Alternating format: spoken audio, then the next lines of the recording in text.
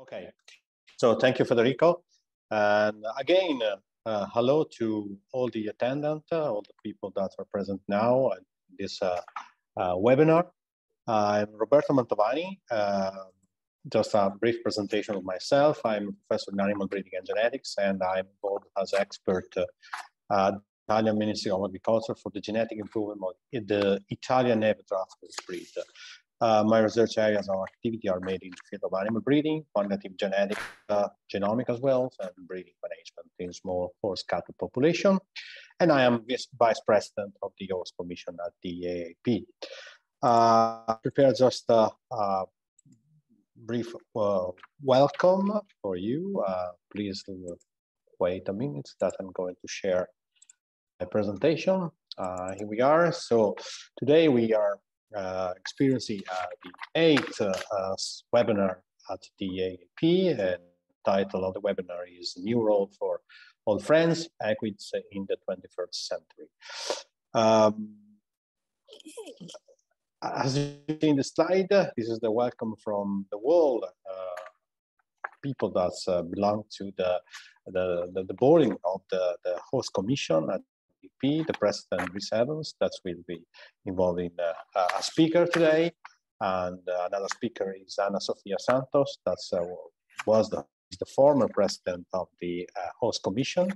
And we have also uh, many people participating at this webinar. I've seen Klemen Potocnik, as a, a, vice president, myself, uh, Isabel, I don't see if she's connected, but uh, she's a vice president. And we have Jackie Trappist and uh, uh, Pasquale De Palo, that's uh, the last one, is uh, uh involved even today in uh, has, has, has give a speech anyway at the, the, the webinar. Um, so welcome therefore to everybody for the by the EAAP Horse Study Commission. A few details about the EAAP Commission for those that do not know the horse commission. This is one of the oldest uh, commission among the 11 that are belong to the EAAP. Uh, the classical topics that are uh, involving the studies and research carried out by people that uh, use, are, are used to um, be involved in the, the horse commission, are genetics, uh, nutrition, feeding, management, welfare, and so on. But uh, new emerging topics have been uh, developed in uh, recent years, like social economy, industry, equine education, therapeutic riding with, uh, production, and so on. The horse commission has in, um, participated even in some working groups. So one uh, important work, working group uh, that started since the 80s is the Interstallion working group, where um, that Interstallion works basically in uh, the joint genetic evaluation among uh, horse uh, belonging to these countries. Uh, nutrition is another working group that's is involved in the even in, preparing um, and carrying out um,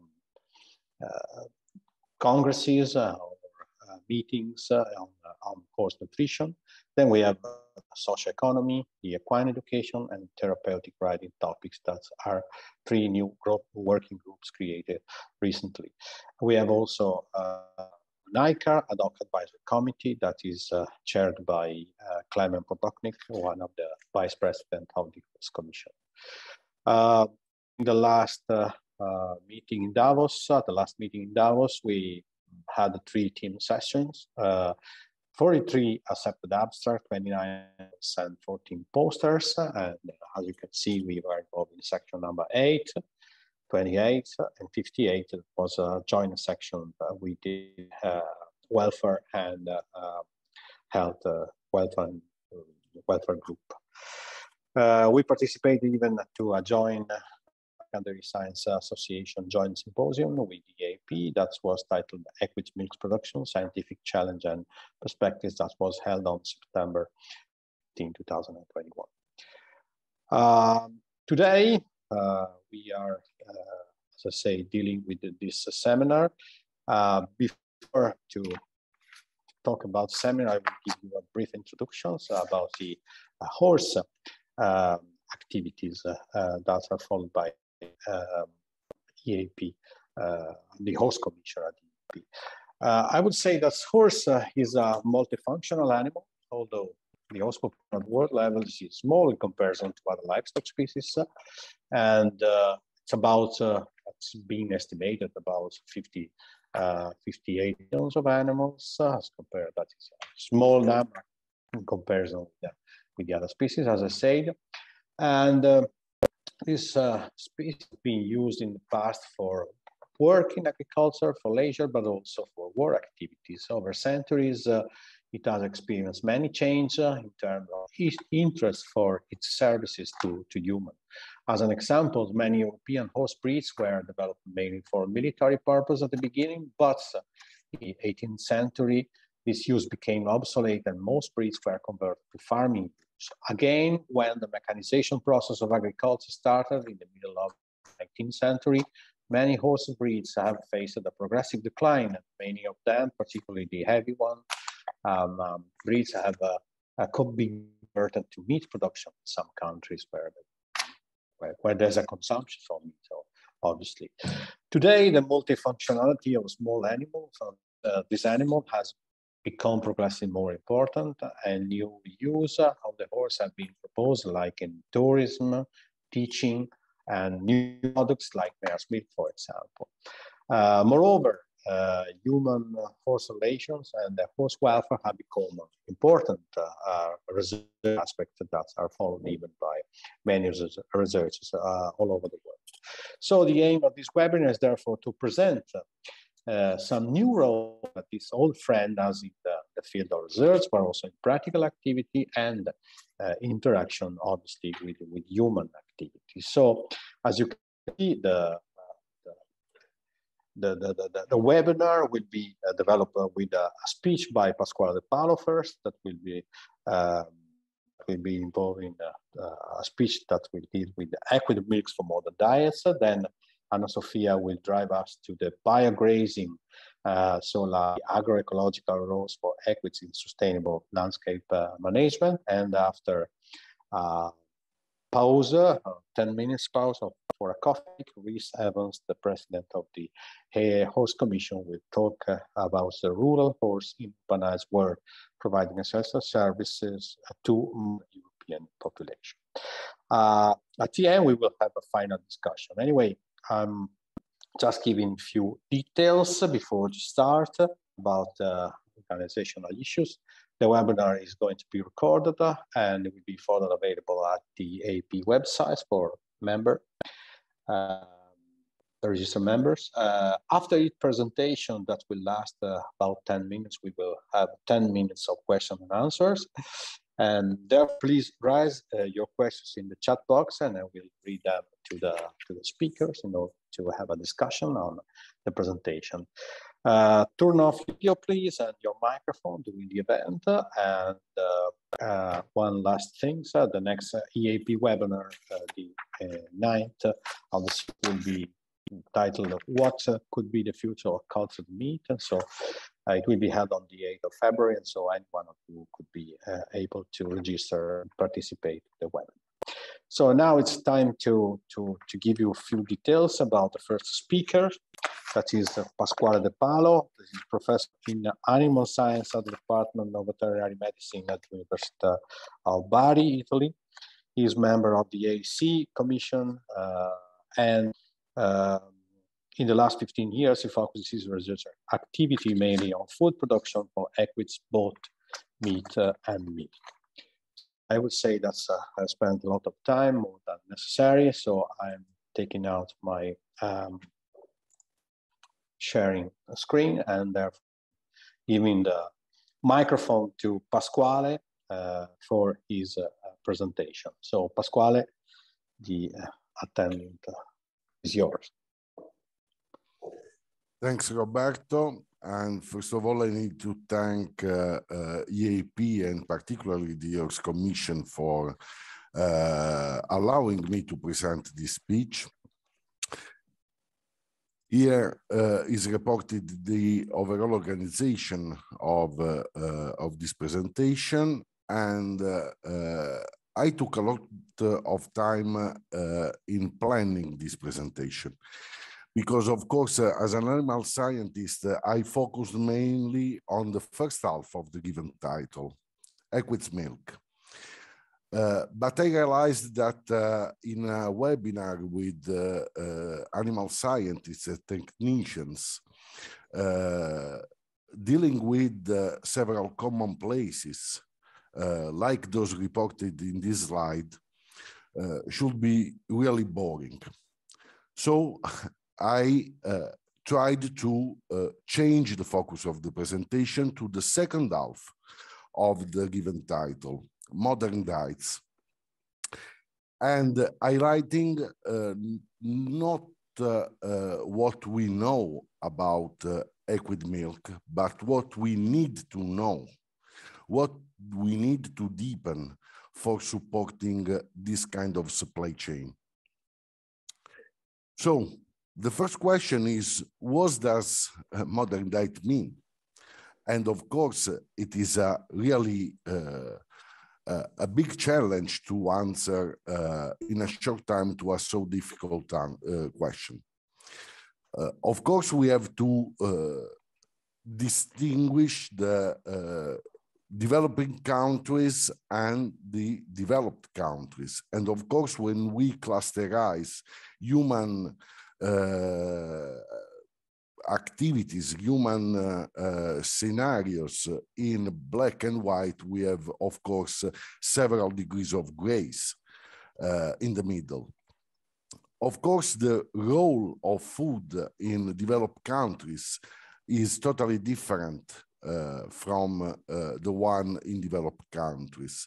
Uh, while in the first scenario is uh, uh, supplying fundamental nutrients at low costs or at least at an economic value able to cover the whole population, in developed countries, we have several meanings of modern diets according to social cultural heritage according to economic uh, uh, peculiarities of each consumer.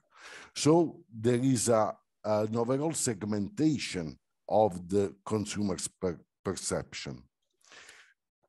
And of course, we need to simplify because uh, I don't have uh, uh, too much time to deepen this aspect, but uh, I tried to uh, clusterize, the, classify the different kind of meanings or the main definitions of modern diet for European consumers according to uh, economy studies and try to uh, evaluate how equid milk fit these kind of definitions. For several consumers, uh, eat, eating a food means uh, a sensory and uh, uh, storytelling experience. Eating a food means uh, sensory uh, sensory experience that needs to uh, deepen the knowledge in the history. And for this, from this point of view, equid milk is a winning food because both donkey and horse milk have a very uh, long story, totally different histories, but uh, they uh, have a strong link with uh, countries with the cultural heritage. But the main component of European population, and not only European, uh, uh, see consumers that uh, when buy, uh, when choose a food, uh, they are aware that they are making an ethical act. So food is chosen not for its own uh, qualitative patterns or characteristics, but mainly for uh, the environmental or sustainability patterns. For this reason, I try to uh, decline the uh, characteristics of equid milk according to the social sustainability, economic sustainability, and environmental one. Regarding social sustainability, uh, uh, I win easy. The dairy equid farming systems are, uh, for their own characteristic, socially sustainable uh, all the uh, farms that produce donkey milk, uh, mainly and mare milk, are socially sustainable because these kind of farms uh, produce other non-food utilities.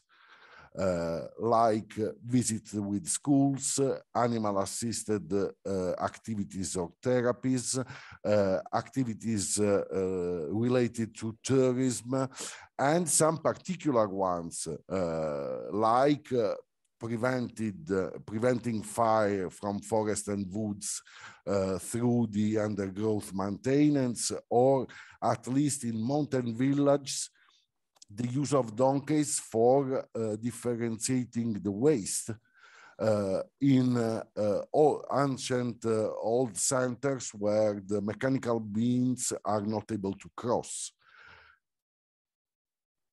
But what about economic sustainability? Actually, we don't know uh, a lot of, uh, uh, we don't have a lot of knowledge on this. when I made research, I found exclusively a paper from uh, agricultural economists, uh, economic, economics scientists uh, from Brazil and a PhD thesis from uh, a PhD in economy and business from the University of Florence. And uh, their outcomes are uh, really near to my opinions. First of all, milk and meat represents the main economic incomes for uh, a farm that uh, uh, has donkeys or uh, heavy draft horses. The second aspect is that the consumer perception for equid's milk is really high. And moreover, this kind of product uh, isn't in the same uh, market area of conventional ruminants milk. Consumer perceive uh, equid milk in a different area, in a different category of food than uh, ruminants milk. They are uh, willing to use small amounts of mare or donkey milk daily, more like a drug than a food. Finally, there is a really high potential market to uh, conquest, to achieve. The problem is the low production, the small amount of production units and the small amount of distribution companies. But both these aspects are often related to the lack of a specific regulation that allows to producers and distribution com uh, companies to develop, to increase the, this kind of market opportunity. We have to say another thing, that it is uh, uh, quite obvious for animal scientists, but it is not so clear for public opinion. We are not able to develop dairy production from equids without uh, a collateral production of meat from equids. At nowadays, the small amount of equids milk produced allows to meat to be easily uh, placed on the market. But if uh, in the future uh, scenario, the idea is to increase the production of, the, of equids milk, we need, of course, to increase in the same way the market of donkey and horse meat. What about environmental sustainability? Of course, I will not say nothing on biograzing and landscape because Sofia uh, will say better than uh, what can I do uh, uh on this topic. Environmental impact. According to my best knowledge, there isn't a paper dealing with the environmental impact of one kilo of donkey milk or, or one kilo or horse milk, mare milk. We actually don't know which, uh, how is uh, set the environmental impact of this kind of uh, production. And according to me, it is not easy to forecast the results of this kind of research because it's true, donkey and horses are not high milk yield producing animals like specialized ruminants, but the horse and donkey uh, for milk production system is a low input system.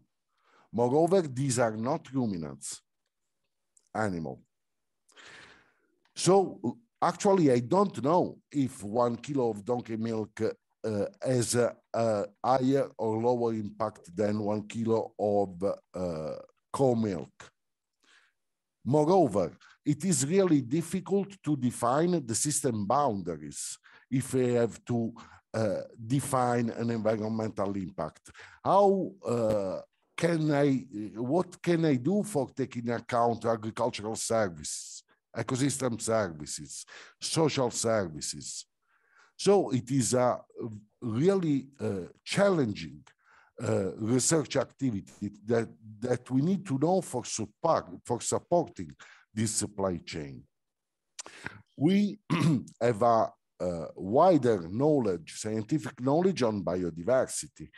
Uh, several colleagues uh, that work on animal breeding uh, are studying, studied, and will study uh, biodiversity in uh, cold blood horses and donkeys. And the milk production represents for donkeys, but also for uh, heavy, draft, heavy draft horses, an opportunity not only for conservation, but mainly for the valorization of these, uh, uh, of these animals.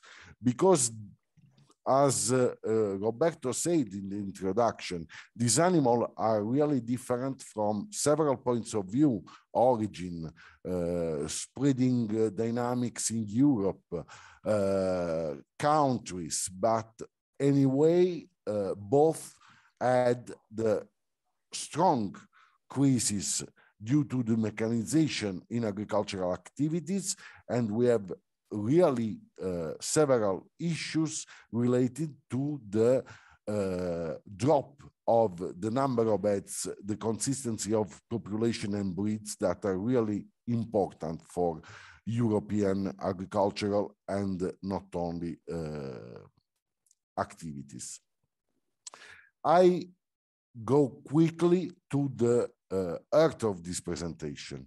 Of course, if we deal with the Equids milk, we are uh, dealing with the role of this kind of food on human health. I tried in this picture to describe two different ways of approaching to the relationship between equid milk and human health. On the left, you see the food as it is. On the right, the real effect of that food on the physiology, on the pathology, on the biological functions of different categories of humans. These two kinds of research are fundamental, but in Equid's milk, we have very uh, several research dealing with the characteristic of equid's milk as it is, and this is uh, the result of the good work of animal scientists and food technologists, but we have really poor knowledge on the effective roles of this kind of food on the biological system of humans. Uh, just uh, uh, as an example, I asked to um, my Italian colleagues, uh, uh, an outstanding researcher in human nutrition, to send me a slide that he show, shown in a, showed in, a, in another webinar. he calculated the oxidant radical absorption capacity of different kinds of food chocolate, blueberry, honey, lettuce.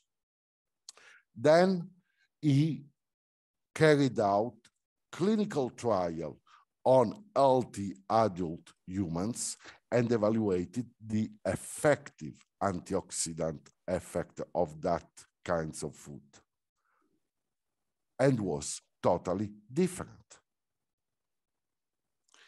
So we know several uh, aspects of the objective quality of equids uh, milk, but actually we don't know in many biological functions which are the real effects of this kind of food. These are only, and it is not exhaustive, the, uh, the, the studies that I found in the last 15 years uh, using Web of Science as a uh, research, um, uh, research engine, and I found in the last 15 years more than 350 studies on mare and donkey milk. Of this, the 60% was by European researcher, according to the nationality of the first author. And of this, let me say that the 40% was by Italian researcher.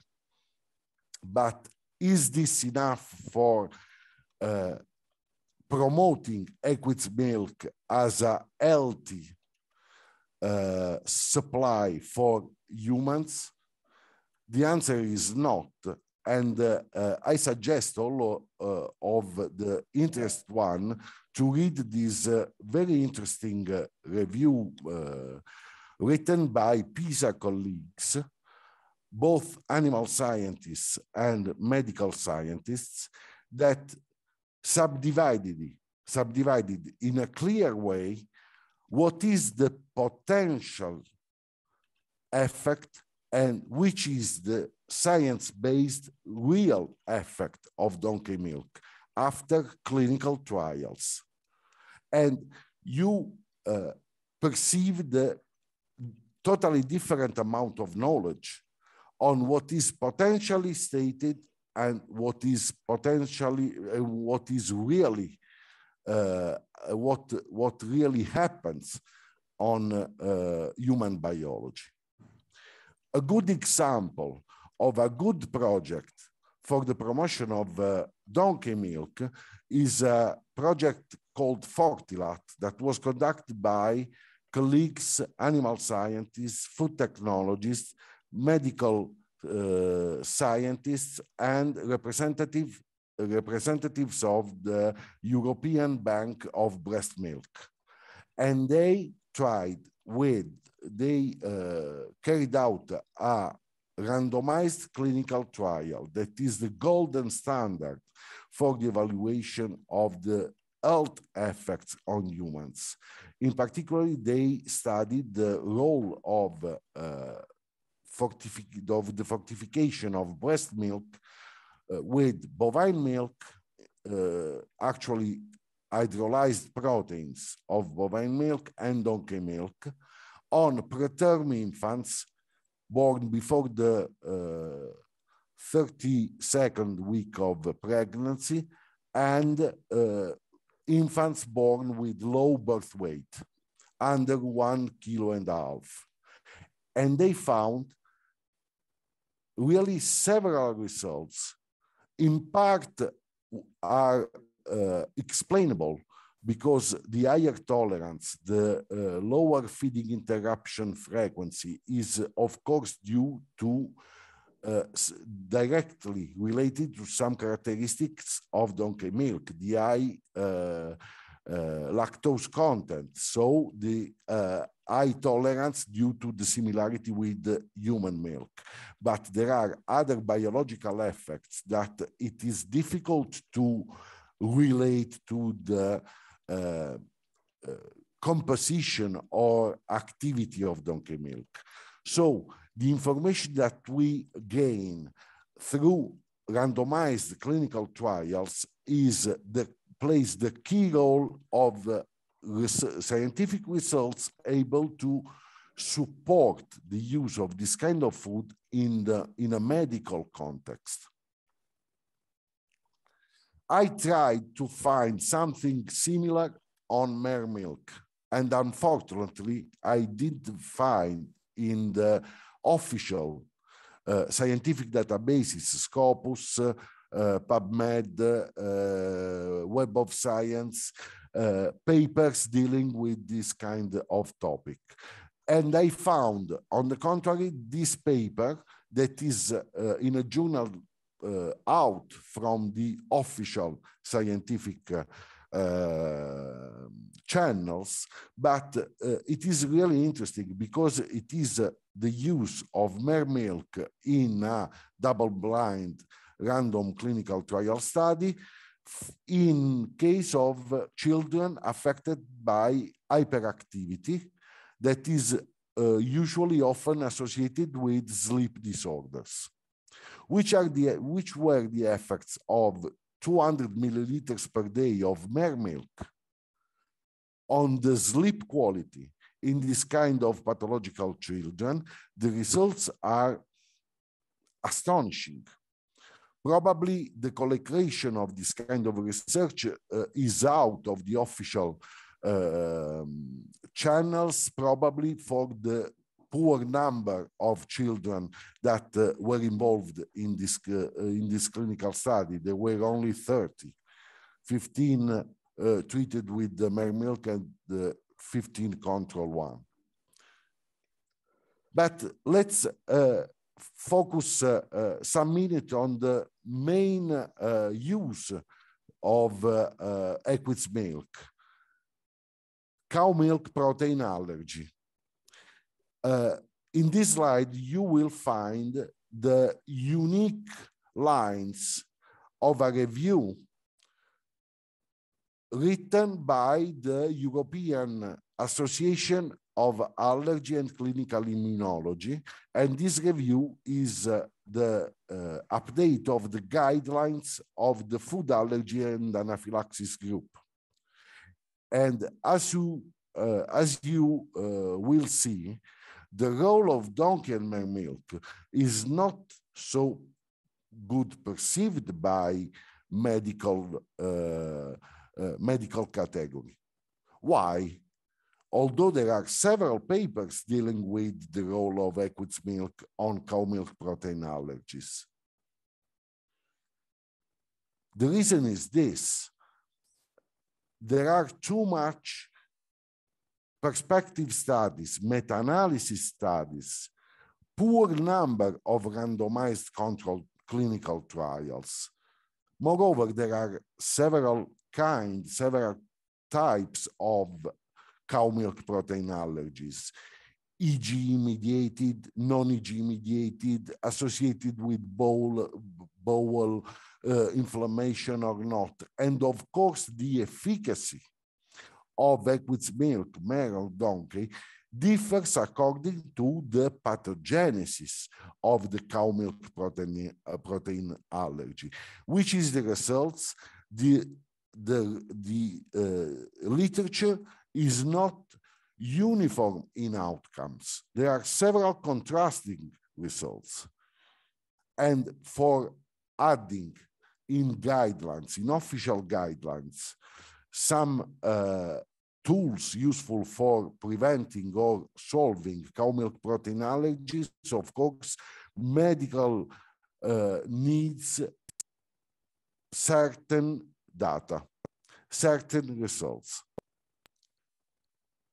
So what I'm saying is that the future for supporting uh, Equid's milk as a, a potential functional food is based mainly on uh, multidisciplinary research where animal scientists work with food technologists, medicals, biologists, and other uh, research categories aiming to evaluate the effective role of this kind of food on human health.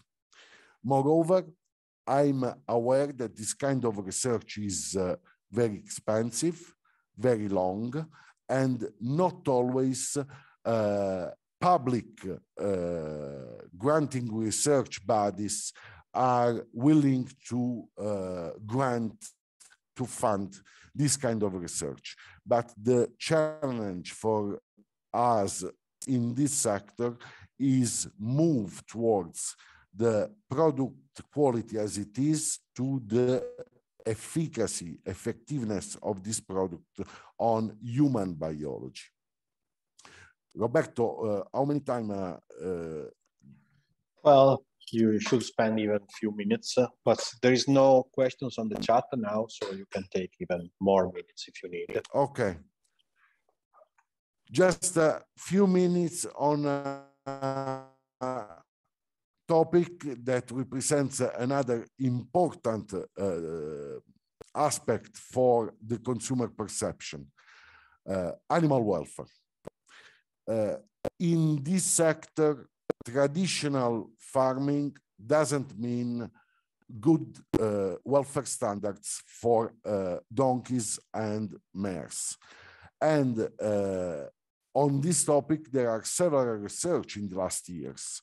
Uh, I can mention, for instance, uh, a very interesting project uh, between the Milano colleagues uh, with the Donkey Sanctuary, that is a charity in the UK that works a lot on donkey welfare, but also uh, some research conducted by Turin colleagues.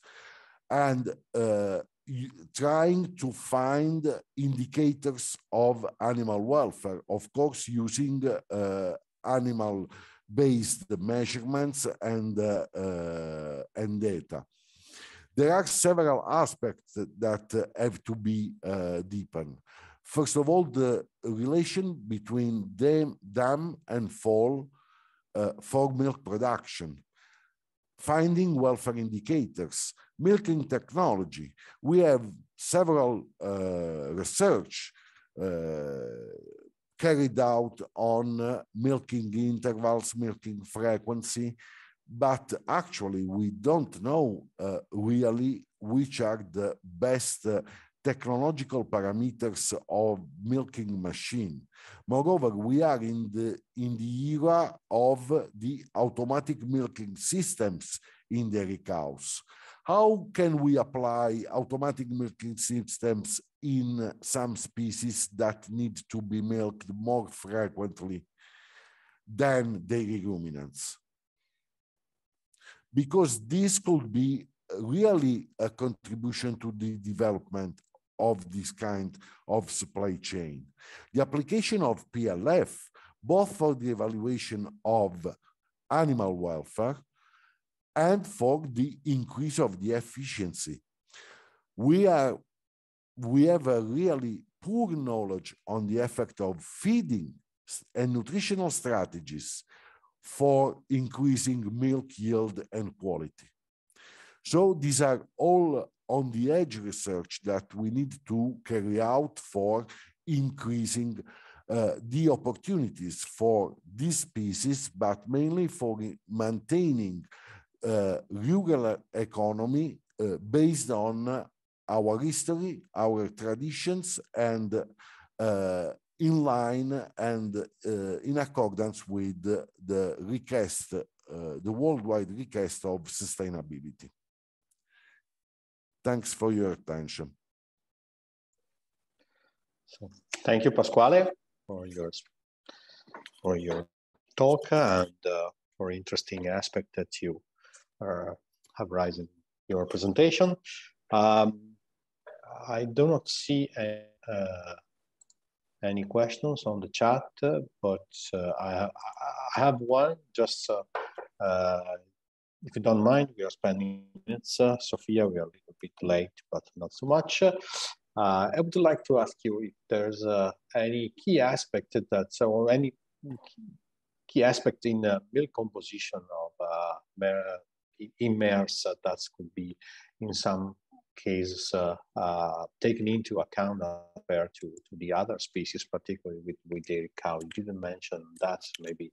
Is, for example, fatty acid profiles much different from, from the other species or any aspect that should be considered for valorization of uh, the milk, uh, milk mares? There, there are uh, actually several uh, different aspects. Uh, for sure, the uh, fatty acids, not only concentration, but fat concentration, that is the most variable uh, qualitative pattern in uh, in mare milk, but probably some researchers say that the different percentage of fat in mare milk is due to the Uh, different efficiency in milking. Uh, and so the different fat percentage is uh, uh, more due to the uh, partial milking and not to variability of milk as it is. The uh, fatty acid profile is totally different from ruminants, of course, because we, these are monogastric animals, so the unsaturation index is higher. Although uh, there is a high variability in fatty acids profile, uh, as uh, it has been uh, uh, demonstrated by uh, in a paper by Turin colleagues, according to the feeding strategies. Uh, these are monogastric animals. So we are able uh, really to uh, change the fatty acids profile according to the nutritional and feeding strategies. Thank you. Uh, I can see, okay. Okay, there's a, a question from, uh, from the attendant. Could you comment on male offspring welfare in terms of uh, their fate? Am I right that they are meat animals in the majority of times? Yeah, uh, of course, uh, in, a, in a context uh, where there is the possibility to sell the males for uh, live animals in uh, other farms and uh, it is possible this is possible when the population is uh, poor when the uh, dairy farms are uh, poor in number and there is a request.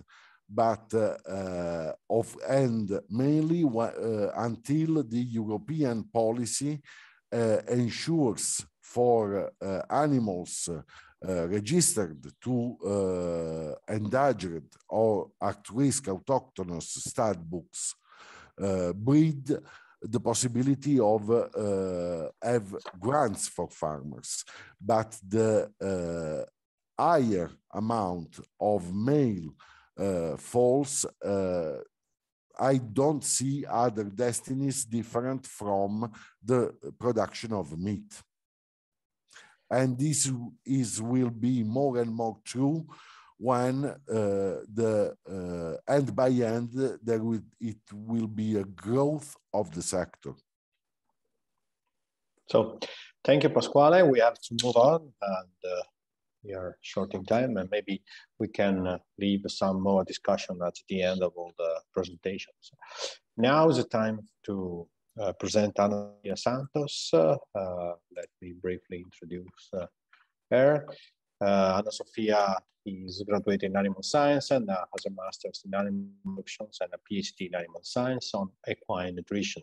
She is now currently the head of science and innovation at the FeedInov Cooperative Laboratory, vice president of the Animal Task Force, president of the Portuguese Association of Animal Science, and she has been in the past president of the horse commission at the EAAP. Uh, last, she is a proud mother of three kids aged 19, 17, and 5 years. She is enthusiastic of equine productions and research. Uh, the title of his of her presentation is Biograzing, Agroecological Roles for Equids in Sustainable Landscape Management. So uh, Ana Sofia, the, the attendant is yours. Okay. Thank you, Roberto. Thank you all. Uh, you are seeing my presentation? Yes. And you're hearing me. Perfect. So first of all, thanks for the invitation. It's really good. It's funny with this computer stuff, we've managed to get so used to it that we actually feel happy when we see, you know, known names and we like, we feel like we're together, although we're not, but it's funny. Uh, and it's really good to be with a lot of, of uh, friends, uh, even at, at, a distance. Um, so, and also thank you for the invitation to be here talking about this biograzing, which is um, an interesting name. Uh, it's a catchy one. So I hope that you all got a bit, what is this?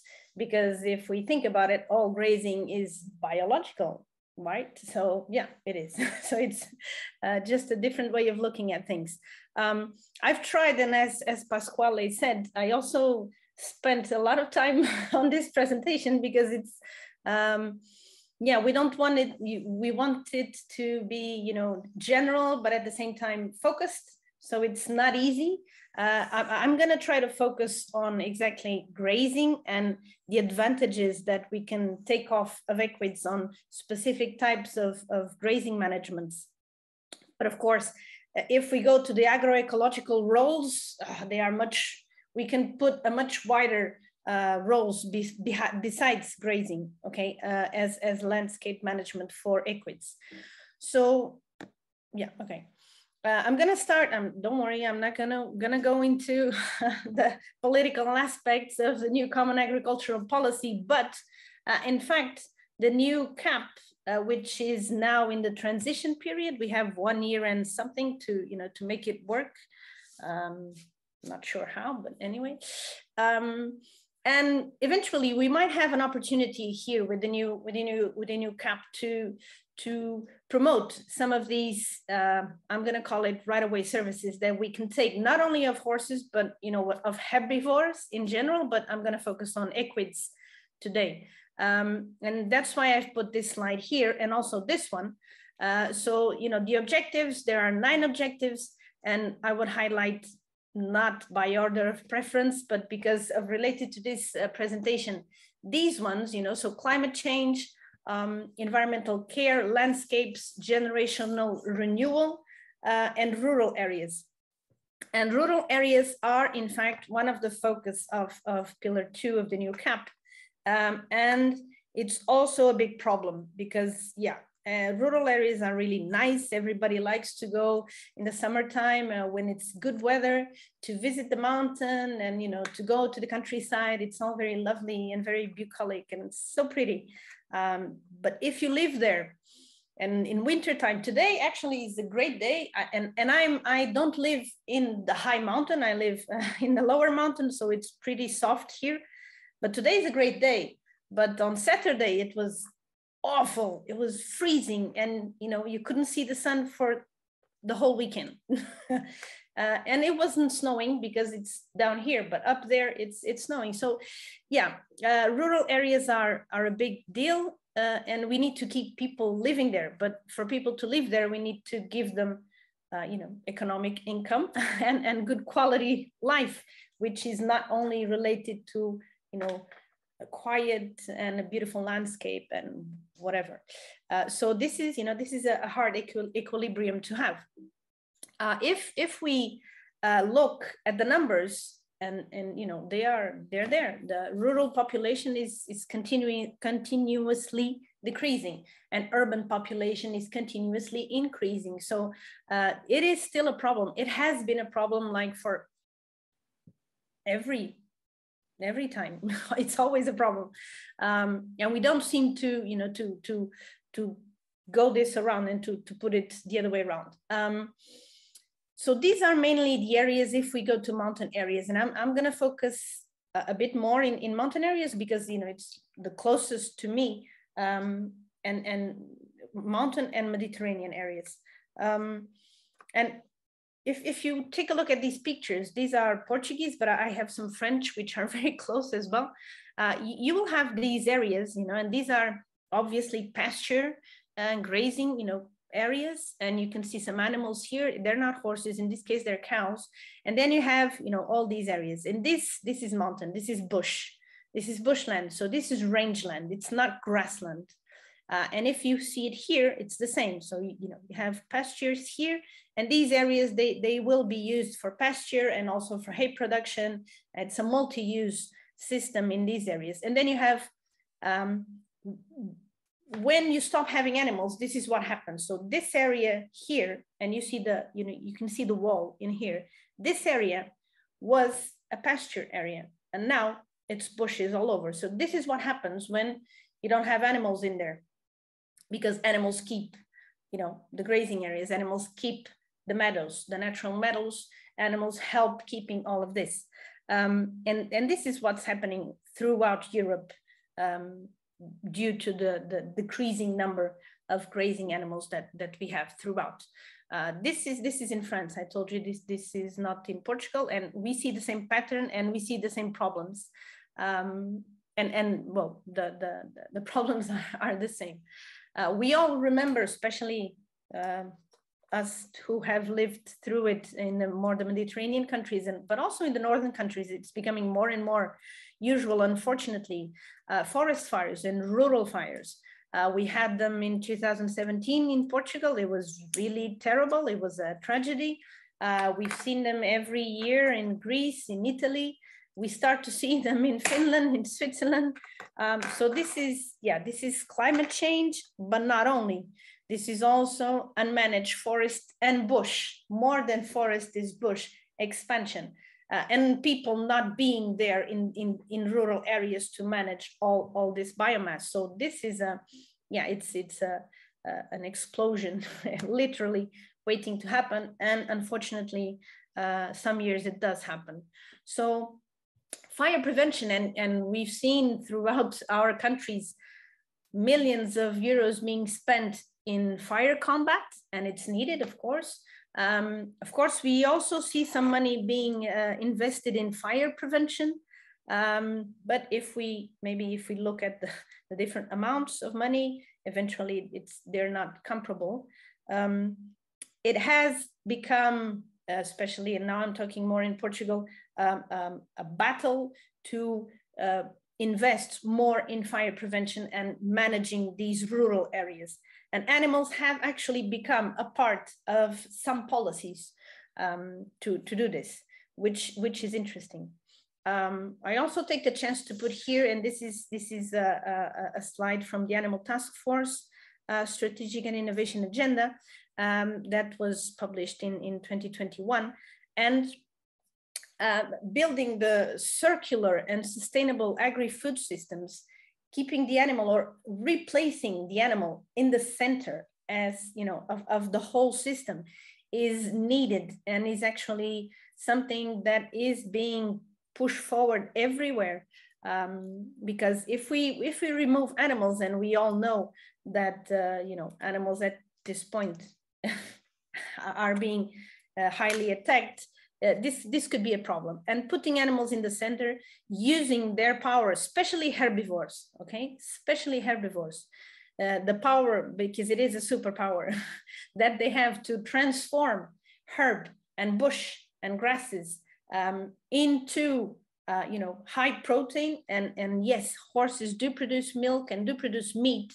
And horses, as Pasquale just referred, horses, equids in general, they are generally low input production systems. So they are, in my opinion, I know it's biased, I know it's biased, but they are, in my opinion, um, like the perfect um, um, species to be used in this. Um, they will uh, eat and they will clean areas and they will give us protein and they will give us uh, milk and um, they will they will help maintain uh, biodiversity and keep and maintain some some of these areas. So so it is it is actually important. And at the same time, they will also produce manure. They will leave it in the soil, and they will contribute to all this cycle that is shown here. So. Uh, if we also look at the numbers, and these these were presented by Anne Mottet in, in Davos this year, it was a great presentation. It's actually online. You can see it in the EAAP channel. Um, and I'm going to focus on this area. 50% of, of, of, the area used by livestock uh, is pastures and rangelands. And this area is can only be used by herbivores. And this is not only cows, this is also horses, okay? Because they are herbivores. Of course, this is cows, goats, sheep, horses. And horses are here. A lot of these areas are used exactly by horses. If we look at you know the three pillars and we all talk a lot about sustainability and pasquale you know talked about all these three issues. We have the environmental one the social one and the economic. Uh, and then we have all these clouds of all these very lovely um, you know words and phrasings that um, you know we need to use and a lot of times we don't even know why we are using it or in the context if it's right or, or not. So this is the context we are now. Um, and horses equids can play in, in in our opinion already play but we we need to further exploit this um, an, an essential role um, so what we would like to advocate would be the reintroduction of large herbivores with the purpose of encouraging grazing as a way to maintain and or reactivate uh, grazing areas. And in this way, prevent bush encroachment, loss of, meadow, of natural meadows and subsequent, biodiversity in these areas, regenerate habitats, and as a consequence or a side stream, prevent rural fires as an externality, as, as it can be called. Um, and this is this is where we would focus. And now we would focus on equids. What are, you know, the the what is this? What, what are we talking about? So the, the numbers and within the horse commission, uh, it's something, and I know that the the the, um, the current commission is still pursuing this uh, hopefully we will manage to get the numbers and you will manage to get the numbers. These are numbers for the European Horse Network. And we know that these are numbers are under what is actually true. Uh, but it is an industry and it is a lot of animals. It is a lot of hectares of grassland and attention in these 6 million hectares of grassland, these are mainly grassland, not all pasture and rangeland are included in here. So this is also bigger probably. Um, and there's a big economic impact of this industry. Um, despite this, the Eurostat does not publish or produces any equine data since 1996, which is astonishing. Um, local national authorities as well, they stopped asking it. We had the um, agricultural census uh, last year uh, in 2020, um, and they didn't ask about equids, not horses or donkeys. So there's no numbers. If we're gonna look at the statistics, uh, the, the number of equids in the last uh, 10, 20 years, it's stabilized. It's zero, zero, not zero, but it's always the same number because they stopped asking about these animals, which is incomprehensible. Um, and so this is something that uh, the equine industry needs or should develop efficient socioeconomical models based on sustainable practice and diversification of activities. Um, and we, if, if we look, um, okay, we can have a lot of uses for the horses that we produce, but the production, horse production, independently if they go to meat, um, milk, uh, sport, leisure, whatever, they need to be produced. Mares need to offspring. Uh, they, and this, this um, part of the cycle should, if we want to uh, address health and welfare issues and respect the, you know, the physio physiology of the animal, this should be done mainly on pasture uh, or, or areas, grazing areas. Um, so this is an opportunity to, you know, to, to put some, some, some more um, things in, in, in here. So what could we actually mean for or as agroecological roles for equids? Um, and we would be talking uh, mainly in, at this presentation of this, you know, of, of using, uh, putting, producing horses or donkeys in this area. So not in the very nice, lusty pastures, but, you know, in bush areas. Um, some grasses, a lot of bush. And the question is, do they thrive? does it work? Well, it does. Of course, we have uh, several wild or, or free range um, herds throughout Europe that prove that, you know, they, they, they, they, they manage. Um, and actually they they one thing is if is if they are free ranging because if they are free ranging they have they have free access to whatever they want and they will look for it and they will walk and and, and eat it. If they are not free range can we make it work um, or not? Okay? So there are some particularities that that we should discuss very very rapidly. Don't worry I'll, i won't go into detail.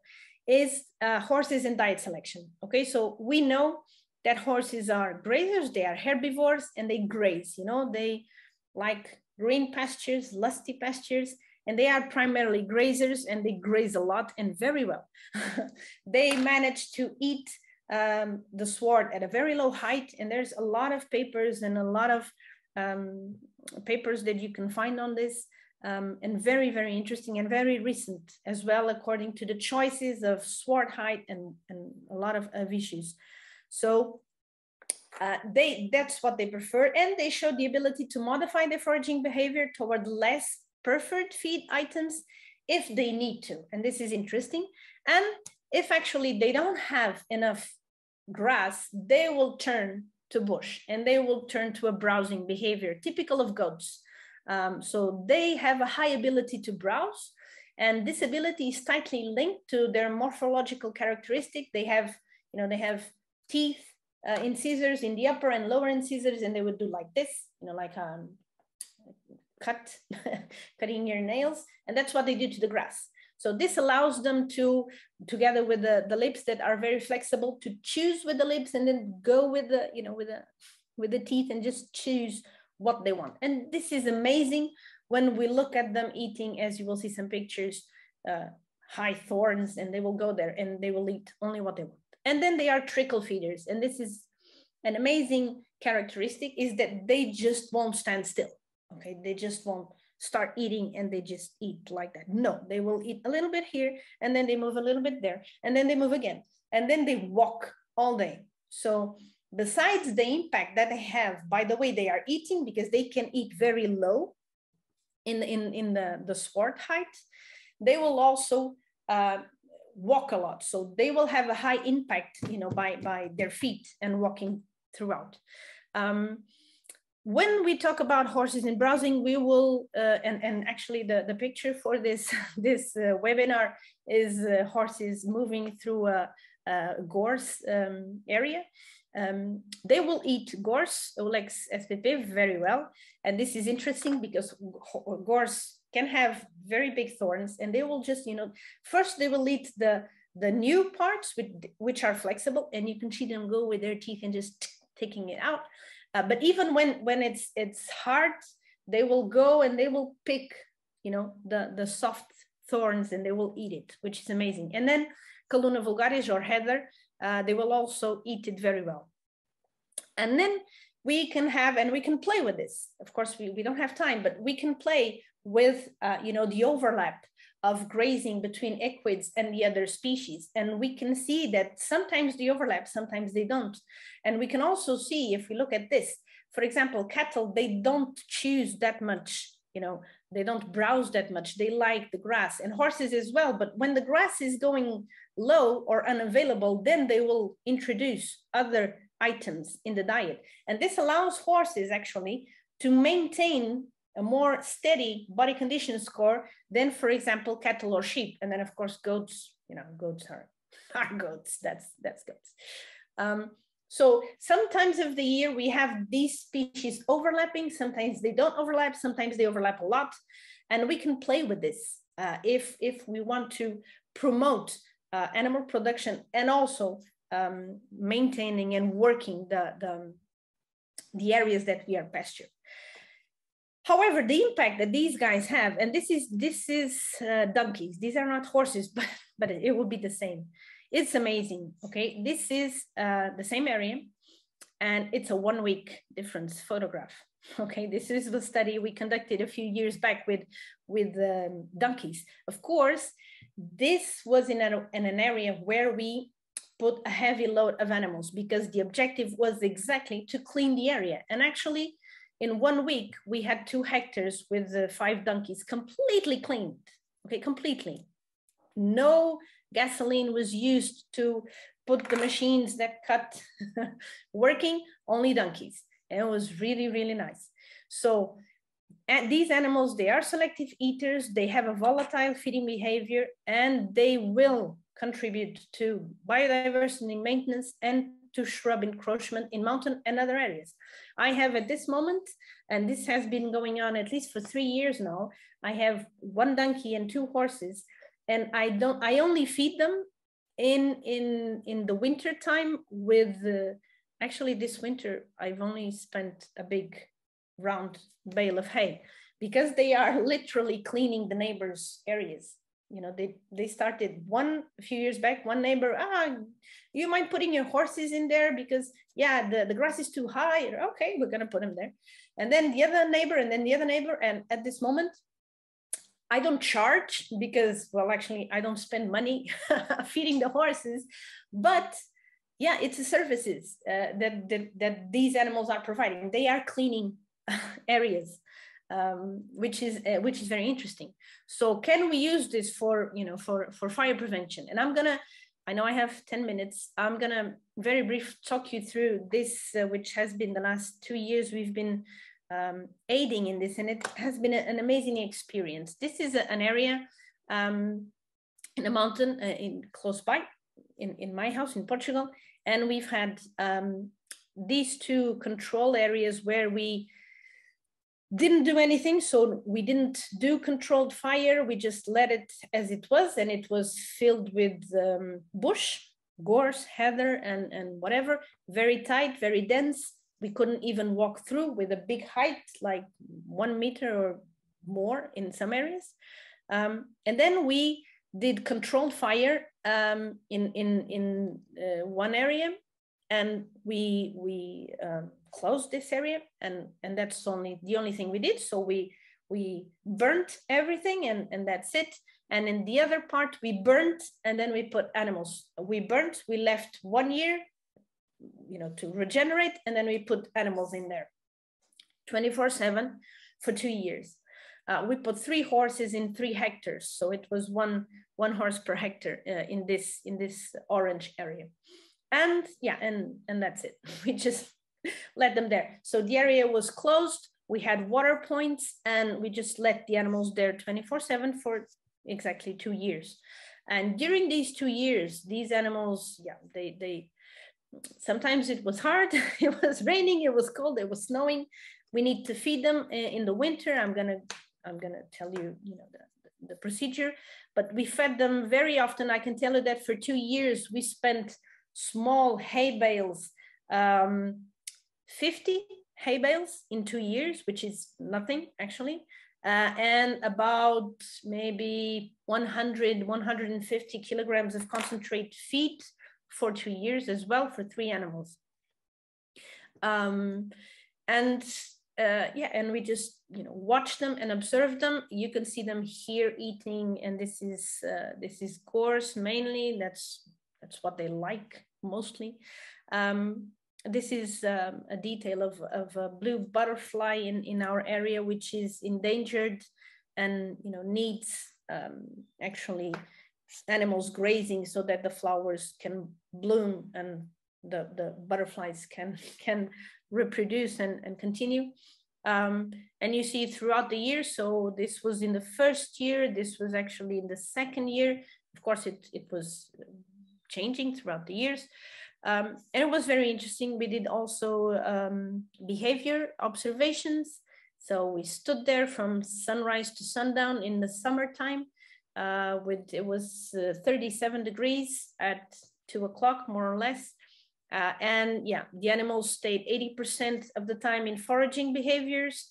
Uh, two periods on, on average for water drinking. They would go to the water area, which was in this side of, of the, the, the parcel. And they didn't show any pattern in their routes, in their foraging routes, which was actually funny. You know, it was completely random. So they one day they would do one thing and the other day they would do another. But one thing, they would go through the whole three hectares uh, throughout the day, just you know, wandering around. Um, and the impact in these two years was amazing because none of this existed. And you see here these paths, you know, and this area. So um, you can see it very clearly in this picture down here, in here. Um, so you don't see any of this in the control area uh, where you know we burnt but we didn't have animals none of this exists um, and you we can actually see here uh, a, a, distance uh, when the flowers were were of ulex were coming out yeah the, in here much more flowers because this is what the ungrazed area than here um, yeah, and the animals just stayed here. The we have data, but it's the it's the colleagues from the botanical area that are still working the you know the the height and um, difference in botanical composition data. We don't have it yet, but what we do have is that in these control areas that we didn't burn, we didn't do anything. The bush height after three years, it's higher than one meter and it's impossible to go in there and to walk through. Um, and if you know if a match just goes in there, it will it's like it will go everything because it's really really dense. And then in the control area with no grazing, the bush height is approximately 60 centimeters after two years of the fire with very dense vegetation. So it's better than the other one but not clearly as better as the, uh, the, the place where the animals were, uh, where we have 20 to 40 centimeters, it depend, depends on the places. We have very dispersed vegetation. We have lots of roads. We have, um, um, uh, you know, very different panorama in, in this area. At this moment, okay, the study stopped, the animals are not there. I can tell you that these animals, they are still doing what they were doing here um, so they are still cleaning areas. um, and, and of course, this is very nice, but since the animals were closed, we need to take care of them they because they couldn't leave. So we need to ensure that they had water. We need to ensure that we needed we needed to feed them when the the bush availability was not enough to ensure their body condition score.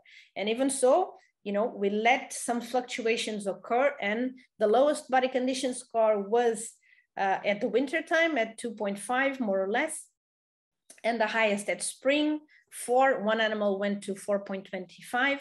Uh, but yeah, in the winter we need to feed them. So they were eating hay ad libitum um, and they were eating um, three times three times a week, um, around 500 grams of concentrate feed each um, and, and hay ad libitum. And this went on for at least three months. Of course, it depended, and we needed to go there. Uh, summer, we needed to go there at least sometimes more, three times a week because of water, because it was really hot, and you know we need to ensure that they had access to water. So yeah, this can work. And these were two mares and one stallion. Um, they they they didn't um, get pregnant at the first year. They are pregnant now, actually, uh, the two mares.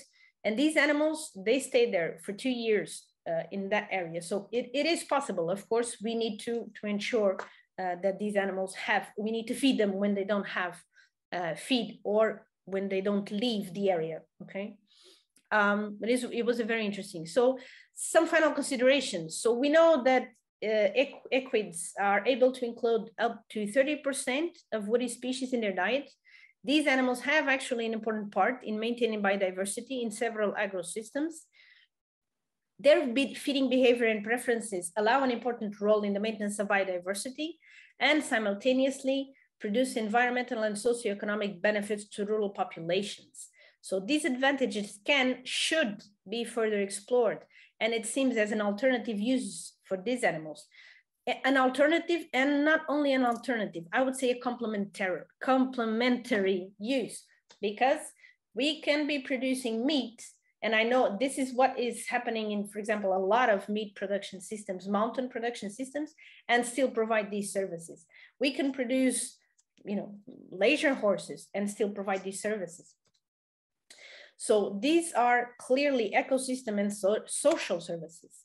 Uh, they can also constitute a biological tool for controlling shrub encroachment. And the study that I was just talking to you about, this was with the objective of preventing forest fires. So this was uh, you know, forest fire people looking at horses to do that. Uh, we were just aiding, you know, in, in the horse part. Um, and this is ecosystem services. Does this have a price? Okay, how do we put a price on this? Shouldn't we be actually paying for these services? You know, for for for this. Whoops. Okay, my time is, is up. Oh, no, okay, okay. Now I can't close it. Ah, my God. Okay, so yeah, it is. We should. Good. Yeah. And I finished. See you in Port. I'm good. Trying to cut this off. Okay. Ah, just give me 30 seconds. Next, this year, Porto. These are the horse commission sessions. Abstract is open. Abstract submission is open. Registration is also open. Um, and we wait for you all in Porto to submit your abstract and to register. And for sure, the Horse Commission will have amazing sessions as always. And we will have a great technical tour that I can ensure you and see you in Porto. And I'm finishing.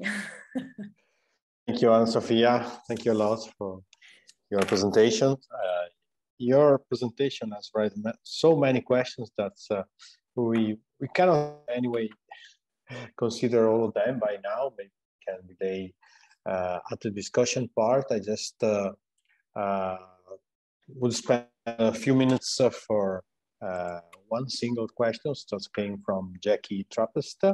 In terms of eco-grazing, which animal species do you find useful? Sheep, cattle, goat, equines, but also geese, for example, and what is the place for uh, of equines in this classification? You touched this but maybe showing some some data but maybe you want to make a reply to this question yeah this this is a very good question and and it's a question i i mean i wouldn't i wouldn't choose a species it really depends on the area that you have uh, the the what you want to clean the objective that you have uh, and uh, i would go for a mixed grazing in most situations and to add and mix the species according to your objectives.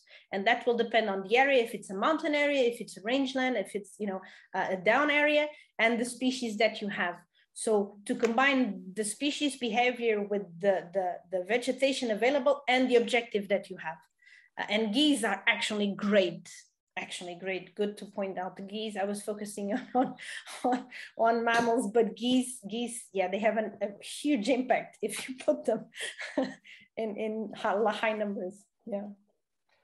Okay, so thank you very much. Uh, we I apologize with all the people that participate with questions. Uh, some other people, uh, some debate. There's a great debate on uh, the topic that's uh, uh, this topic, but we uh, need to move on. And before to start with the next presentation, I will uh, take 10 minutes break. As, uh, so, hello. Hello, thank you everybody for, thank you all participants for being still present in this uh, uh, webinar from the Horse Commission on the AFP. We have one last uh, presentation for the general discussion. Is, given by Rhys Evans that is uh, the president of the horse Commission. Let me introduce him with a brief. Uh, uh, he is associate professor at the University College of Green Development in Bry, Norway, and the president of the host Commission, as already said. Uh, he's a, a human geographer and he has been a pioneer in the field of human-horse relations since the start of the Equine Research Network in 2009. His work covers a wide range of topics uh, within the field uh, from transcendence uh, to what is a working horse in the 21st century. His most recent focus being upon the changes the sector has undergone. Uh, we entered the 21st uh, century economy with uh, its emphasis on the service sector and the experience economy. In particular, his research focuses uh, upon the growing role equines uh, are playing in uh, a Europe dominated by urbanism, stress, and detachment uh, from our historic rural roots, and how, as a production system, the equine world can bring positive solutions and opportunities uh, to the challenges. Okay, I hope that's uh, have make a good introduction of yourself. Maybe you can say something more. And, uh, anyway, Rhys, the, uh, the participant group is yours. You can start your Thank talk. you.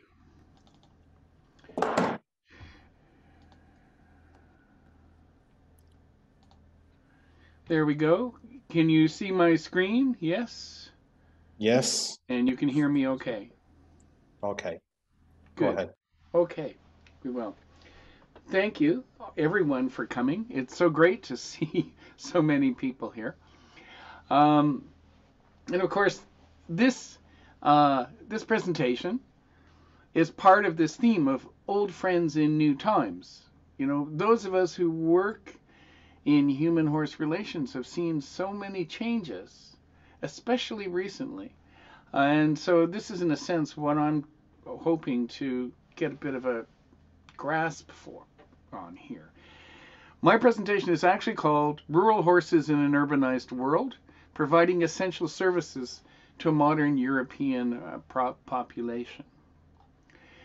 So, to start out with the requisite, you know, horses have been part of our lives, which have been predominantly rural for thousands of years, but they've also been a key part of urban civilization. You know, horses were a, a key contributor to the development of, for example, the Industrial Revolution and the urban transformations which uh, accompanied it, sorry, accomplished it. Well, that too, I suppose. Because horses were the multipliers which enabled urban economies, urban housing patterns. I mean, distance for work, for example. You think about the growth of the omnibus towed by horses in the cities prior to that that you know you did people lived right next to their factories. And with before you had streetcar suburbs you had horse-drawn omnibus suburbs. And even you know the cartage of urban food supplies all of which created the possibility of larger and larger cities in Europe. Now historically the number of horses in Europe reached its maximum at, at the height of the steam train era so we're still talking in the early 20th century here. Horses were needed to get goods from factory to train and from train to customer.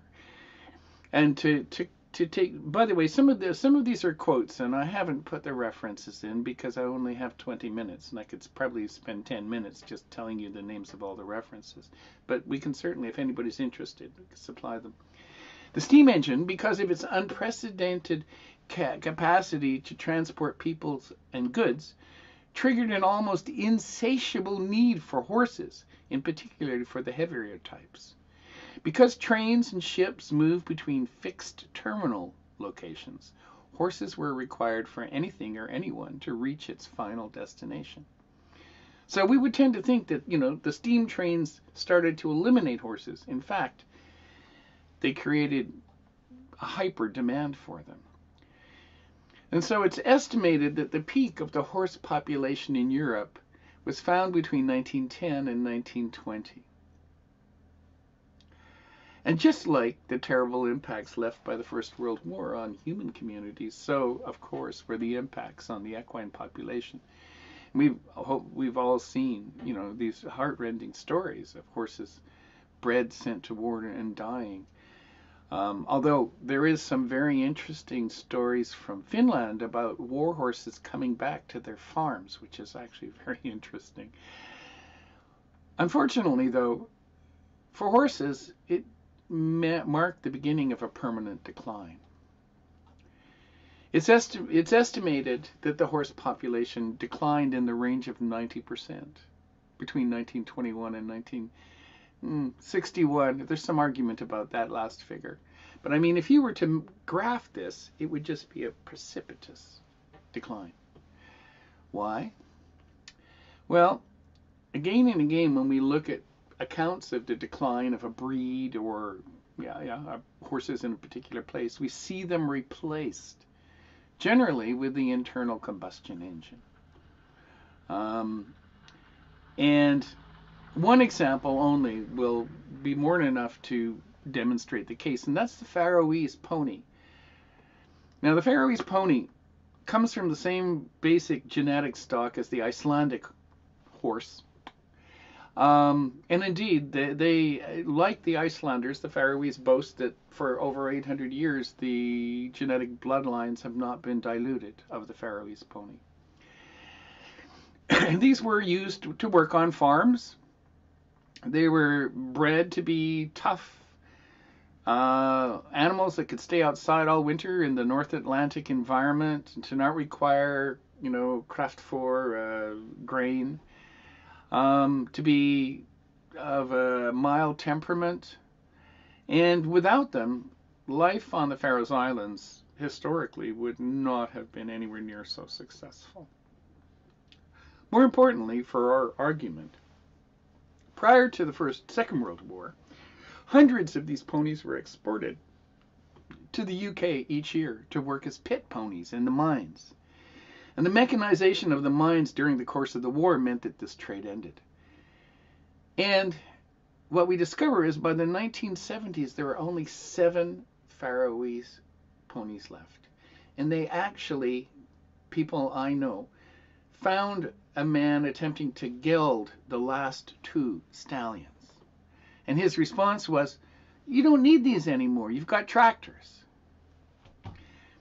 So why was this why was this attitude so so you know uh, common? Well, horses are part of production systems, and production systems need economic imperatives to function. In other words, you've got to find a way of making money out of breeding these horses. Now, fortunately, there are other economic uses to which uh, these, you know, horses can lend themselves. And not only is that the topic of this talk, but fortunately, it's becoming the savior of many breeds that are endangered. And just as an example, there are now nearly 100 Faroese ponies. Um, their numbers have been slowly growing as a bunch of very dedicated, passionate people have really worked hard not only to uh, you know to to rebuild their numbers, but to engage in scientific breeding, to minimize inbreeding, etc. And I was very heartened to learn just this year that there is a campaign in the Faroes to to allow Faroese ponies to be exported to Denmark for new herds to be started um, and that really, you know, the very fact that they could say, well, we can afford to let a few mares and a few stallions go tells you of the difference between when I got involved with them in 2011, in which there were 71, and, you know, how it is now. Now that's been that that catastrophic decline in population because there's no economic imperative to breed these horses has been repeated across breeds, across locations, all over Europe in many ways, except, well, except for, of course, the ones for whom there is an economic imperative, like sport horses and some leisure horses. So now I want to, I want to, you know, raise this question: rural or urban? You know, traditionally we think of horses as rural creatures. Indeed, traditionally we think of them as livestock. And the whole point of this presentation is to get you to maybe rethink some of those stereotypes and cliches. You know, we associate horses with agriculture, but as Ana Sofia said, since even since the formation of the EU, that's not really been the case. They're not considered agricultural animals in most most European countries. And yet, where we do count horses, and it is of, as Ana Sofia said, of great frustration that we don't know how many horses there are, we still only count them on farms. And if you think about it, okay, I did an ag- I did a horse census in a municipality here in Norway some years ago. And by far there were more horse herds, if you will, small horse businesses in which there was between 3 and 5 horses but there were a few breeding farms with large numbers. So you have a few farms with lots of horses on them and a lot of farms with a few horses on them. But we only count the ones on the farms. The trouble is, of course, that horses don't perform traditional work on farms. And so therefore, they're a cost, not a benefit. Here in Norway, what you find if you, if you, for, for example, is, you know, the sport of trav, of trotting, which is, you know, the dominant, really the dominant, um, you know, competitive sport still across most of Scandinavia. The numbers are declining, and the participants are their age is getting older and older and older. And what I find here in that same in that same uh, horse census, uh, which was designed, by the way, to support creating a 10-year agricultural policy concerning horses in a municipality uh, near where my institution is. Um, it was older retired farmers whose sons or daughters had taken over the farm who were keeping and raising the trotting horses, the Trav Hest. So, in some ways, they are an indulgence. They're a symbol of an authentic past, yes, but there's no formal economic imperative to keep or breed them, apart from passion on the parts of a few individuals. And yet, many horses persist on farms. An important question then is what kind of farms are they found on? And generally, we find them on small farms, ones that are unsuitable to large scale industrial agriculture, in fact. And these small farms are extremely important for the green assets they deliver to society, if only because small farms make up in the range of 80% of all the farms across Europe. You know, we deal with this 80-20 rule where 20% of the farms produce 80% of the national agricultural economy. And 80% of the farms deliver only 20% of the national ag agricultural economy. But they're important for what they actually do deliver, which isn't huge, massive amounts of food, but these green assets. So we do see, of course, especially within equine sport, these clusters of activity, which includes some large-scale production of horses. But the majority of horse farms are small scale. And of course, they're seldom raised for food anymore, even though our colleagues, of course, have done this research on horse meat and horse milk. We all know how controversial that is.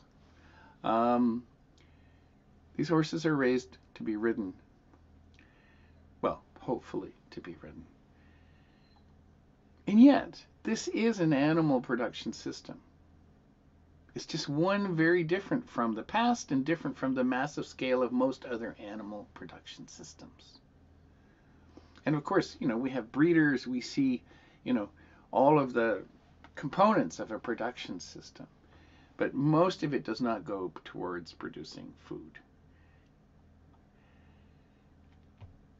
And strangely, despite this ma massive decline in numbers, since the 1980s, the number of riders and horses have been on an upward trend in Europe. Although there's been variations, like for example during the 2008 recession, generally numbers across Northern Europe anyway have grown in the range of 7 to 8% a year. Um, more riders, more horses. So there's something going on there. There is some value to society in this new equine production system. Now, I don't want to repeat, uh, you know, what, what Ana Sofia was giving you. And in fact, her numbers are newer than mine. Mine were 2009. I think she had 2018 numbers. We all know that they're somewhat elastic, but for me, what's really interesting in this these figures is that 70 to 80 percent of horses are used in leisure and recreation. What other industry do we ignore 70 to 80 percent of the production and focus on, say, sport as we do, or niche things like you know heavy horse? Um, and of course, you know, I've been saying this. Those of you who know me will know that I've been saying this for some time. You know, we need to understand that most of the horses in Europe are being used for something that we think of almost as secondary. And yet the numbers are not secondary. And this is the part of the industry that's growing. And it can be seen in tourism, it can certainly be seen in therapy, therapeutic uses, in education, and it can be seen in in in activities that we don't even hardly recognize within the equine sector, like health and well-being or fitness and outdoor recreation.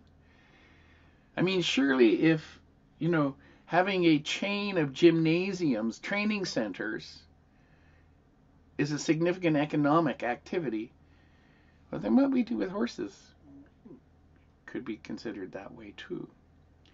And not only that, within this, we see this constant innovation and new activities, new uses, and and this is what I think is important, new economic imperatives for breeding horses.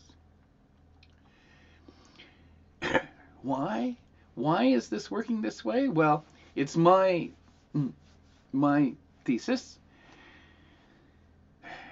that society is changing and the way we work with horses changes with it. So in 2013, for the first time, and this this actually agrees with that graph that Ana Sofia put up about Mediterranean populations living in rural and urban locations. For in 2013, for the first time, over half of the European population lived in cities. For the first time in human history, over half of us live in cities. It's even higher now.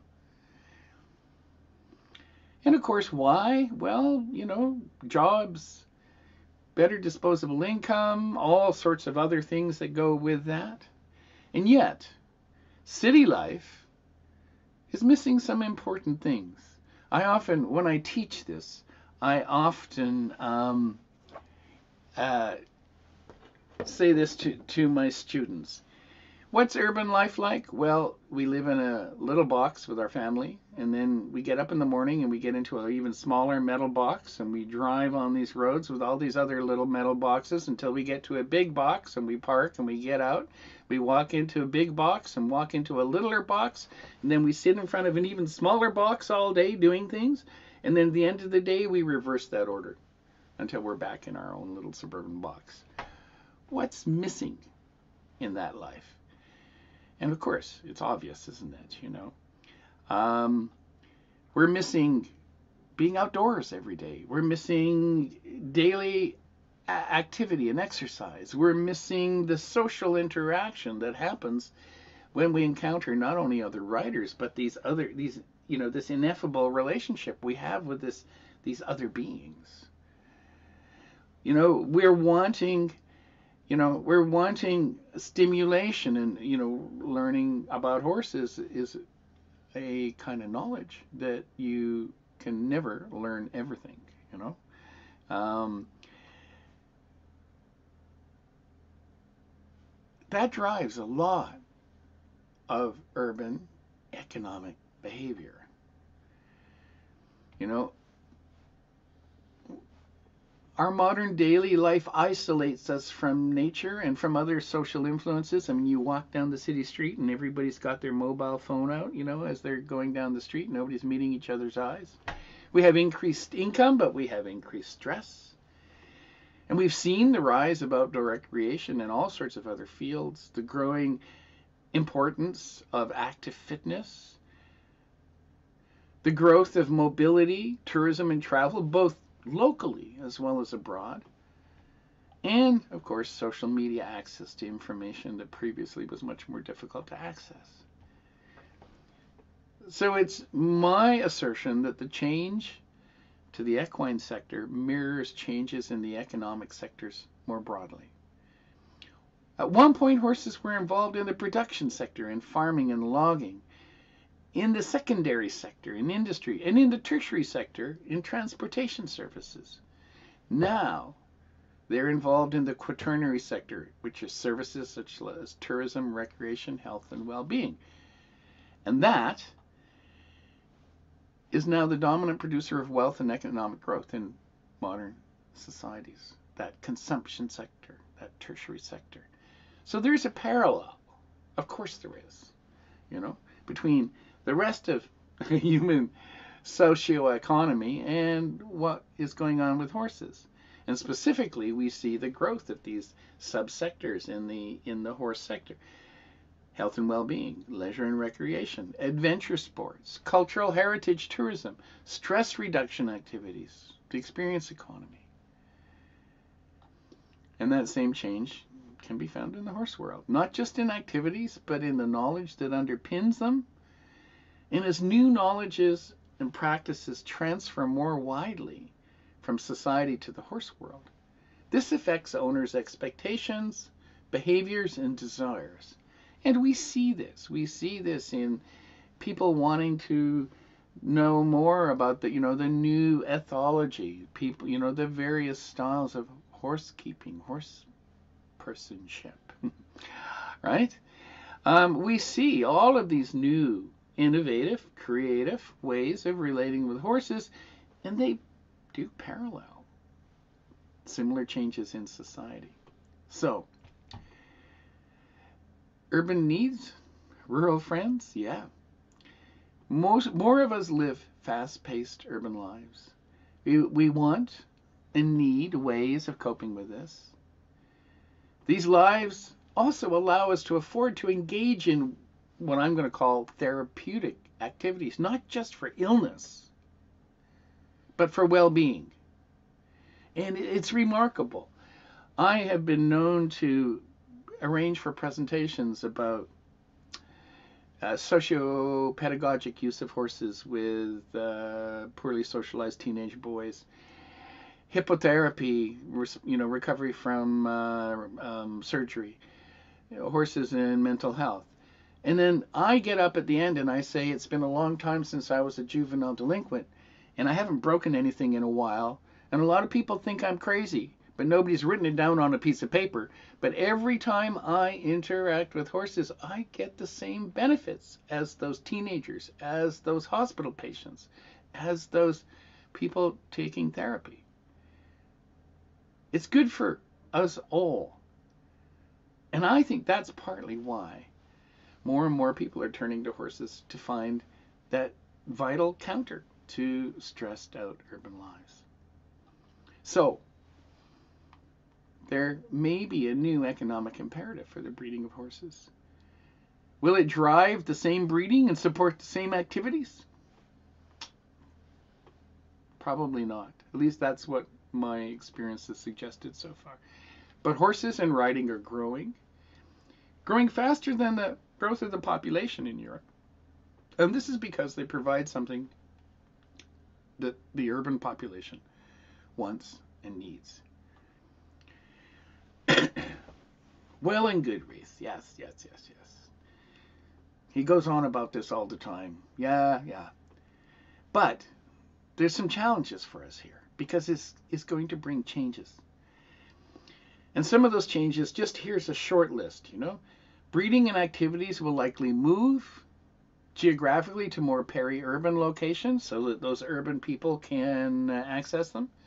For example, some research I've done suggests there's no point sending out a what the English would call livery yards, we in Norway call a stall, more than a 45 minute drive from a major population uh, source. People won't drive further than that to go and visit their horses every day.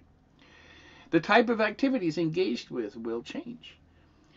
The skills needed to participate in the equine sector will change, and we see this in you know some of the uh, education offerings now you know starting to be offered.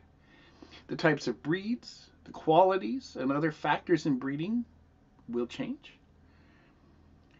An important thing we need to keep in mind is the emphasis on services mean that horses now work in the service sector. And just as an aside, my, my regular challenge for veterinary science is human occupational medicine had to come up with a whole new set of diseases and ways of approaching illness when the service sector took over. You know, my dad, when he worked in the factory, he could break his back. When I work in the stressed out bank, I get sick later. You know, I get ulcers and you know the occupational medicine had to change to acknowledge that and i think we still have some way to go in terms of veterinary science to really get a handle on that How we see our relationships with horses will change. And importantly, and this is something the EAAP can contribute to, how we make policy for horses will have to change. Because we have to face challenges. We'll need to create new land planning rules to accommodate all of this. We'll need to bring new ways to bring new activities into the mainstream of the equine world. And of course, we all know, because we're part of it, bringing change into the uh, culture of equestrian enterprise can be challenging. We're going to need new types of education and skills development. Breeders will need to reevaluate their decisions and strategies. You know, uh, an equine tourism project I had, one of the most interesting complaints I heard from horse tourism providers was the breeders don't breed good tourism horses. They breed, you know, fancy cup winners. And boy, when you get a good horse, you hold on to it because they're not that common. We need to see work horses in a whole new life. What is horse work? I mean, after all, if the girl in the gym who's instructing your class is working, are those horses not working too?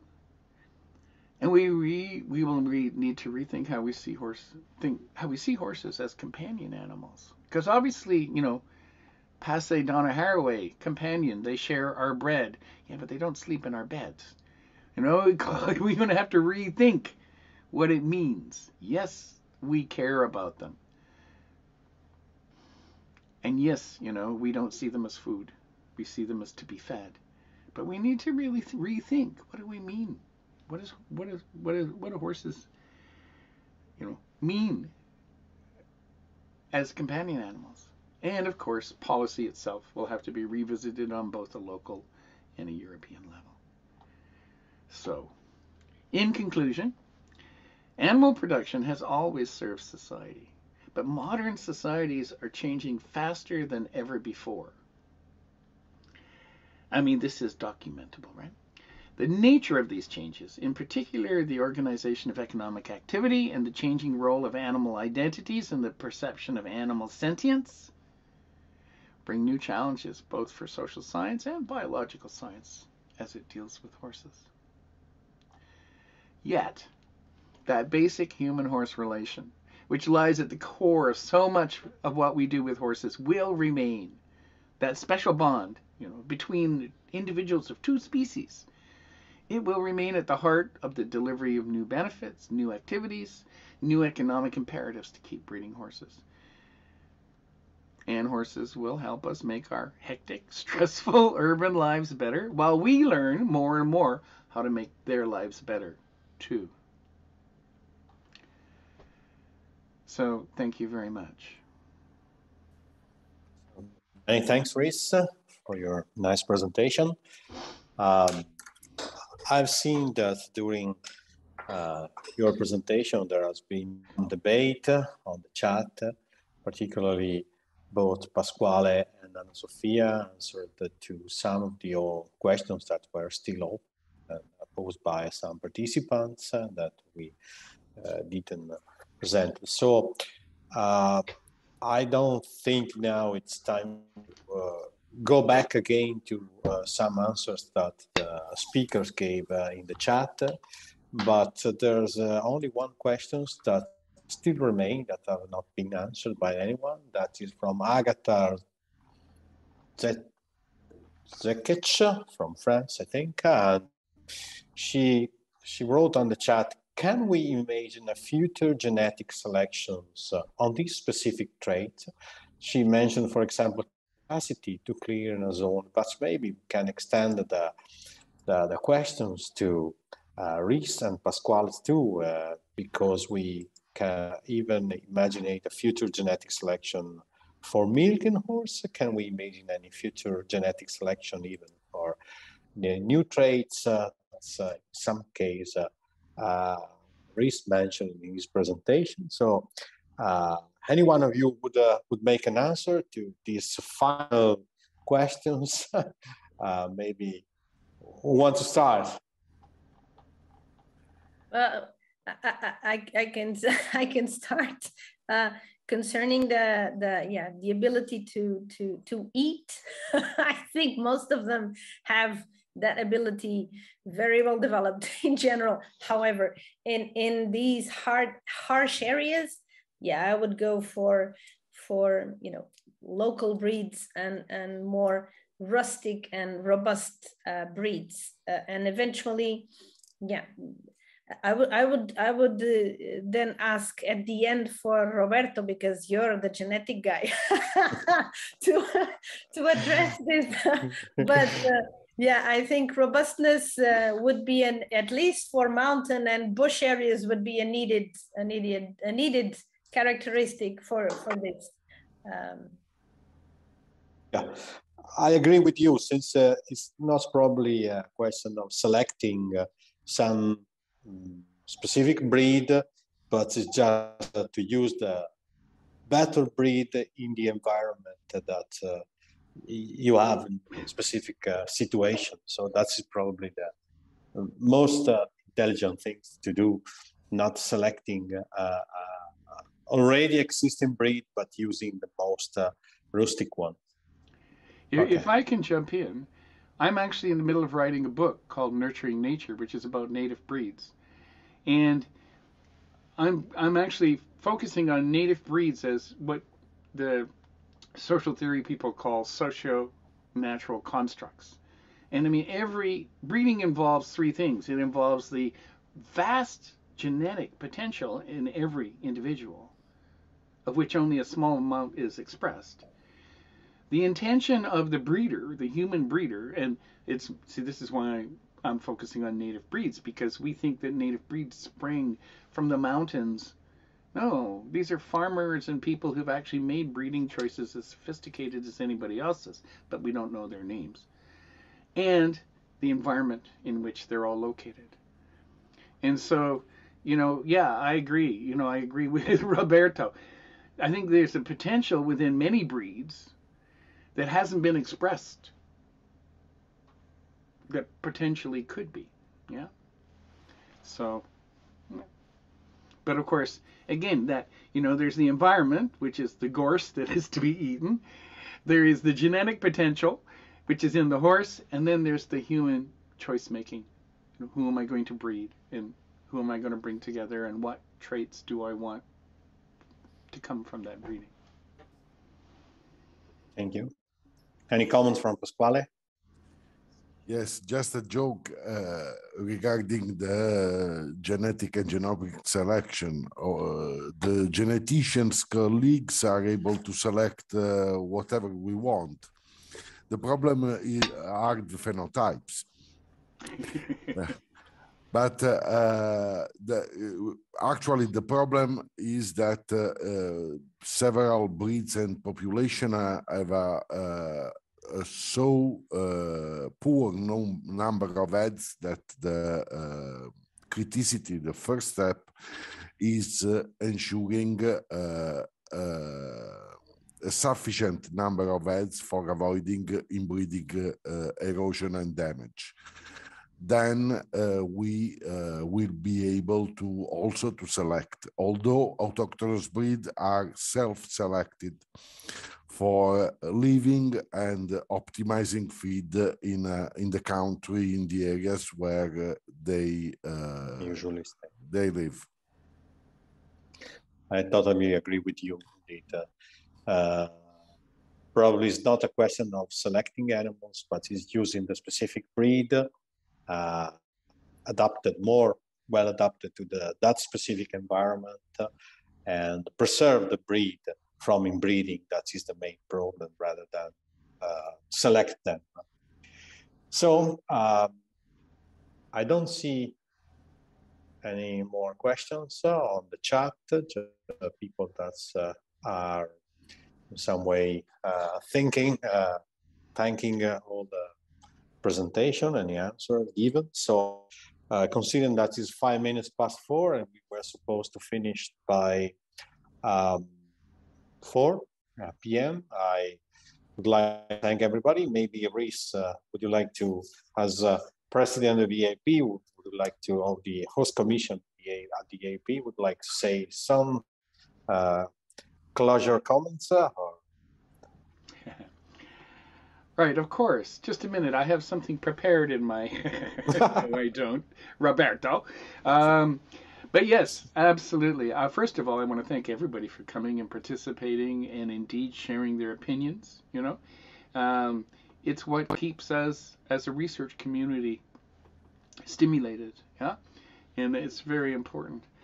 And I want to also challenge everybody to look at those things that we take for granted around horses and question them because you know that is the ultimate point of science is to get us to question those taken for granted you know to think critically.